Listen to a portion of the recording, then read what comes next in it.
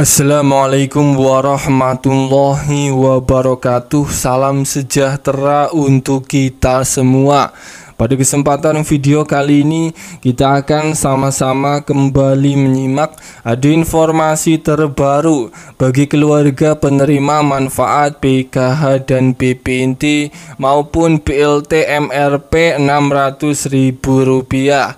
Ada kabar terbaru yang harus diketahui pada hari ini terkait ada dua larangan yang harus diketahui bagi KPM PKH dan BPNT ketika SP2D atau Surat Perintah Pencairan Dana PKH tahap kedua maupun BLT MRP 600.000 di bulan ini apabila sudah diturunkan.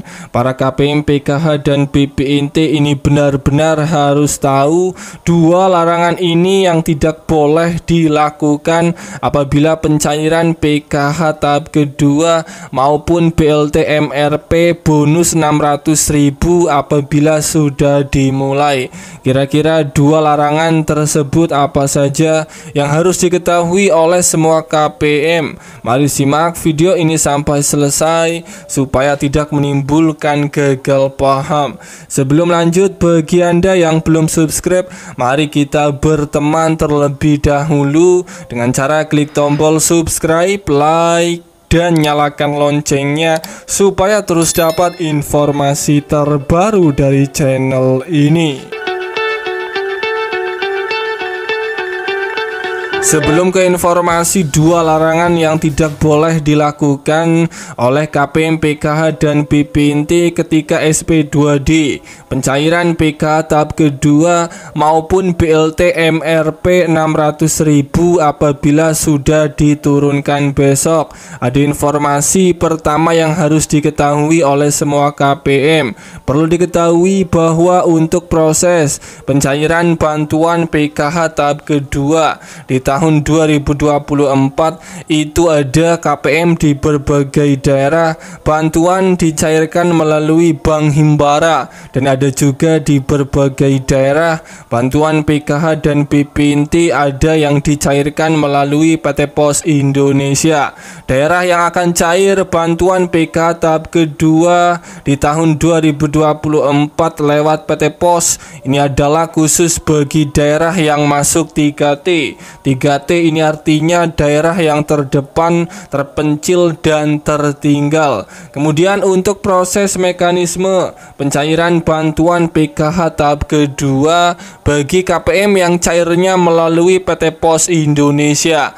Bantuan PKH itu dicairkan setiap tiga bulan sekali. Dan untuk pencairan PKH tahap kedua, KPM yang cair lewat PT Pos itu diprediksi baru akan disalurkan disalurkan pada bulan April atau setelah Lebaran Idul Fitri. Kemudian untuk proses pencairan bantuan PKH tahap kedua bagi KPM yang cairnya melalui kartu KKS itu bantuan dicairkan setiap dua bulan sekali dan pada bulan Maret di bulan Ramadan ini adalah bulan pencairan bantuan PKH tahap kedua yang proses pencairannya ini akan segera segera disalurkan pada bulan Maret ini sampai April tahun 2024 mendatang.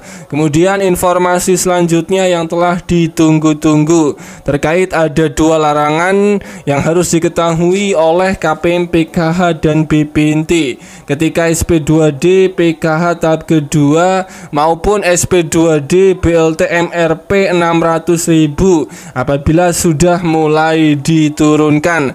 Larangan yang pertama ini adalah bagi para KPM PKH dan BPNT dihimbau untuk menyimpan kartu KKS-nya sendiri-sendiri dan dilarang. Bagi KPM PKH dan BPNT bantuan diambilkan oleh orang lain.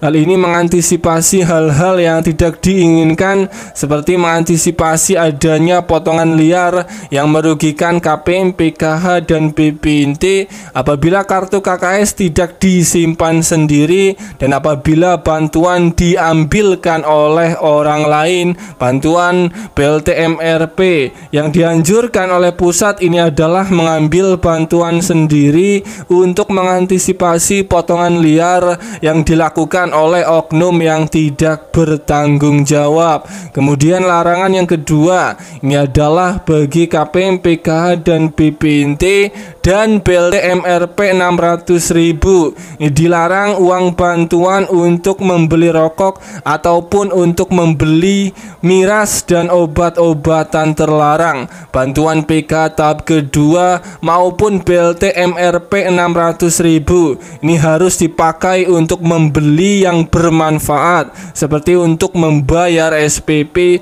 ataupun untuk membeli seragam ataupun untuk membeli bahan kebutuhan pokok yang bermanfaat seperti buah-buahan dan sayur-sayuran dan bantuan PKH tahap kedua ini juga bisa atau boleh digunakan untuk berobat bagi kategori lansia yang memerlukan untuk mengecek kesehatannya. Dan itulah dua larangan bagi KPM, PKH dan BPNT maupun PLTMRP 600.000 yang harus diketahui pada pencairan bantuan tahap kedua dan PLTMRP 600.000 yang sebentar lagi ini proses pencairannya dalam waktu dekat akan segera disalurkan. Semoga ini bermanfaat sampai ketemu di berita lainnya.